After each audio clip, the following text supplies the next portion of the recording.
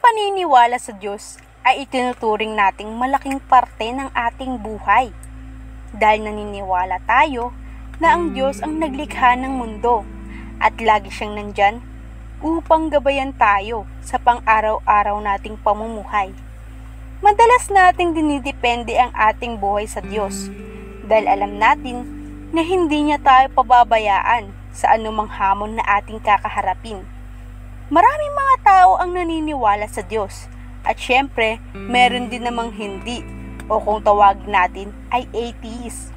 Sila ang mga taong hindi naniniwala na totoo ang Diyos dahil wala silang nakitang ebidensya na nag-exist ito o dahil na rin sa tradisyon, kultura, pamamahalan na kagisnan o dahil na rin sa kanilang personal na pagpili. What's up everyone? Welcome to What the Fact TV! Ngayon ay aalamin natin ang mga bansang hindi naniniwala sa Diyos. Pero bago ang lahat, don't forget to subscribe and click the bell button to get notified about our latest updates. Huwag na natin patagalin pa. Tara, alamin na natin.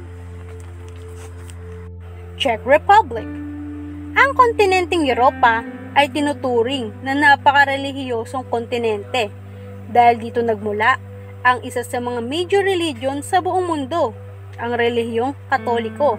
Kaya nakakagulat na may isang bansa sa Europa na di naniniwala sa Diyos at iyon ang bansang Czech Republic o tinuturing din na atheist country sa buong mundo. Noong 2015 ay gumawa sila ng botohan para sa mga taga Czech Republic at para na rin malaman kung ano ang relihiyon na mayroon sila Marami sa kanila ang nagsabi na hindi sila konektado sa kahit na anong relihiyon at hindi rin sila naniniwala sa Diyos. Isa sa itinuturing nilang rason ay hindi naman sila konektado sa kahit na anong relihiyon dahil noong mid-20th century, ang Czech Republic ay naging parte ng Soviet bloc na nasa ilalim ng pamahalaang komunismo na mahigpit na pinagbabawal ang pagkakaroon ng relihiyon. Nang dumating ang 1993, ay umalis na ang Soviet Union sa Czech Republic. Pero nanatiling atheist ang mga naninirahan dito dahil wala namang nakasulat sa kanilang kasaysayan tungkol sa relihiyon na dapat nilang sundin at malaki ang paniniwala nila na wala talagang Diyos. Japan Ang Japan ay isa sa mga tinuturing na atheist country pero dahil ito sa kakaiba nilang paraan. Dahil 80% ng mga tao sa Japan ay sinusunod ang kanilang ethnic religion na Shintoism. Ang Shintoism ay isang relihiyon na nagmula sa Japan na may paniniwala na nakapokus sa kalikasan at ang kalikasan ang pinagmumulan ng mga spiritualidad. Niniwala sila na ang lahat ng mga bagay na nagmula sa kalikasan ay mayroong spirito at ang mga bagay na ito ang itinuturing nilang Diyos.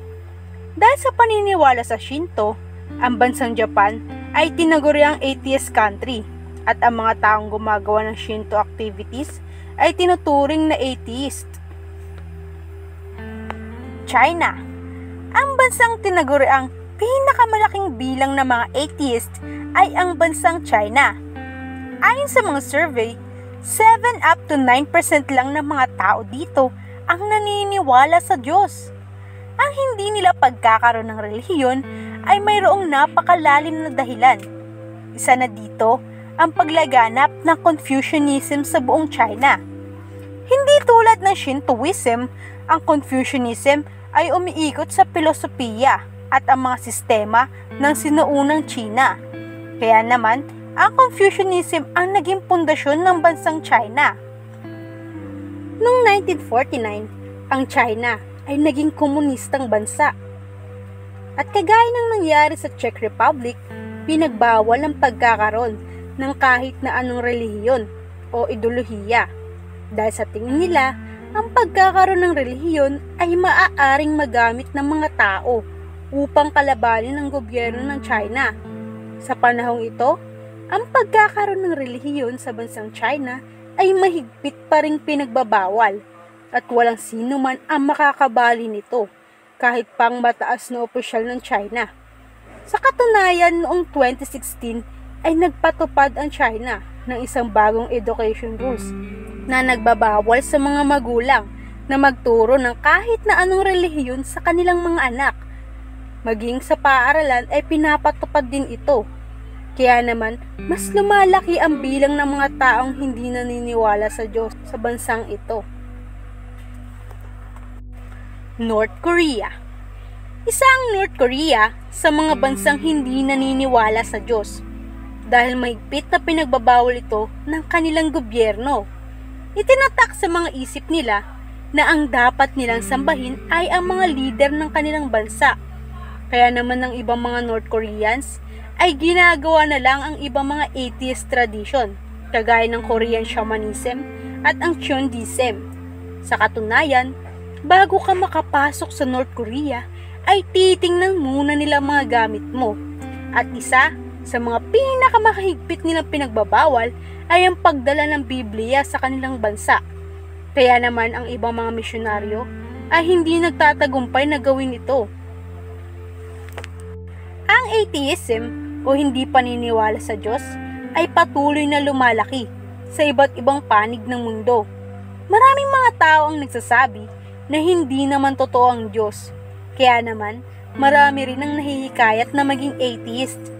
Pero, hindi natin sila masisisi. Dahil iba-iba tayo ng lugar na kinalakhan. Kaya naman, kailangan nating respetuhin ang mga paniniwala na meron sila. Kung gusto rin natin na marespeto tayo.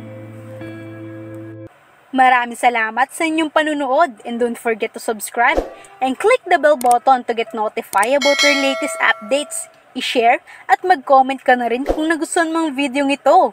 Bye!